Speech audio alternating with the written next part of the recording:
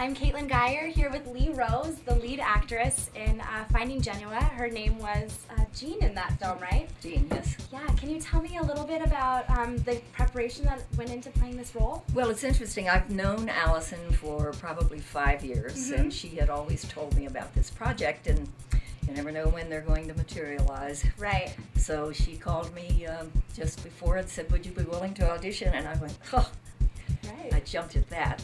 Uh, and it's a wonderful part. And. I'm relatively new in the business. I'm I know actors never tell their age, but I'm 74. Ooh. And I, uh, 15 years ago, I decided to go into the business. And uh, I've done pretty well. I was James Garner's wife and my fellow Americans. Yeah. yeah. Uh, I've done a lot of TV and a lot of print work and voiceover, that sort of thing.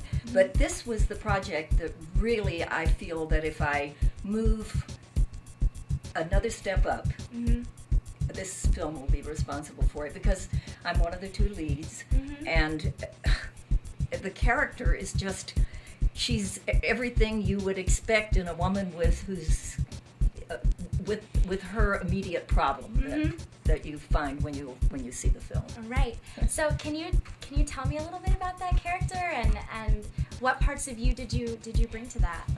Well, she was a woman who had uh, had a husband and a child, Mm-hmm. and um, they were both deceased.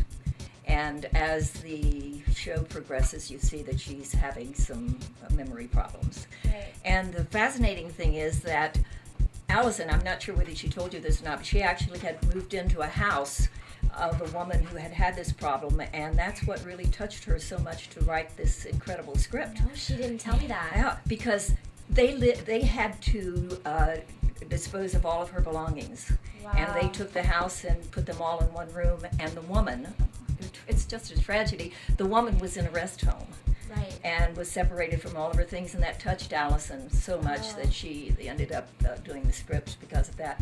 But uh, she's a wonderful, warm, loving woman, and uh, she meets up with this young girl who's lost. Uh, has no financial backing, and uh, she moves in with her, and and uh, uh, the script develops from there. Right. So being in that space and, and knowing all that must have really, really informed you as the actor for her character. Absolutely did. I really felt it, and you know, at my age, I mean, this is something. I'm I'm I'm Jean's age, Mhm. which you know, where do you get an actor that plays the age of their character when they're this advanced? Right. So it was uh, it, it was great. The filming went really smoothly, and I feel that Allison really brought out what I wouldn't have been able to do had I been, as they say, directing yourself. right, right. Can you tell me a little bit about your experience here at the festival? I know your Monday Oh. was the first time you had seen the film as well. So how did you feel sitting there watching it for the first time with this whole audience with you? I had begged Allison for the last year to let me see it, and she Mhm. just simply wouldn't. She said, I'm not sharing it with anybody.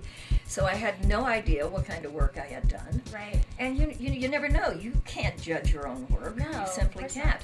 Um, I was just, in, I mean, first of all, to come to Idyllwild, and I'd never been here. Right. This place is unbelievable. It's beautiful. Oh my I want to come back. I want to come back during the summer. I Mhm. wish there had been more snow, but I was thrilled and delighted to be here. Right. But uh, watching it was an incredible experience for me. I have to tell you that I've seen it twice again at the Mhm. uh, other film festival, and uh, I was just bowled over by all the acting and by the story and how it all came together.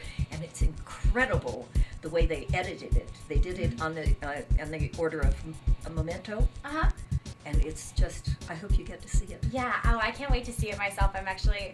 It's been the one film of all the films this week that I've I've really felt the most awful that I haven't been able to see because we've been so busy Well, like jumping around and doing interviews. But as far as any of the films that I'm going to be on top Good. of the film direct, the director of the film festival to get to see, it, it's this one. Good. It had the two best audiences. Yeah. Oh, I've heard. If I say things. so myself. If I say so myself. but yes, I've heard packed audiences every every showing. Yeah, and everybody's been so helpful. Tracy, who does a PR, I mean, she's like there, whatever you need, every breath you take. It's like, can I do something for you? You know, I feel like I'm back in Hollywood. Where do you get that in Idyllwild? Yeah. Well, oh my god, how incredible. Do you have any projects that you're working on in the future that, that you're excited about? Yes, actually, um, there's. I live in Chicago, Right. and there is a director who's doing the Tiger Woods story as a comedy. Wow. And my daughter, Candace Rose, is playing Elin, his wife. What? And I'm playing the mother in law. Oh And my st- gosh, you must be so excited. We're filming in Tennessee starting in uh, May. Wow. Yeah. Oh my gosh. well, we gotta look out for you, Miss Leigh Rose. Thank you, thank you so much for your time. you, What a thank you. pleasure meeting you. Thank you. Uh, I'm Caitlin Geier with ReelRocket TV.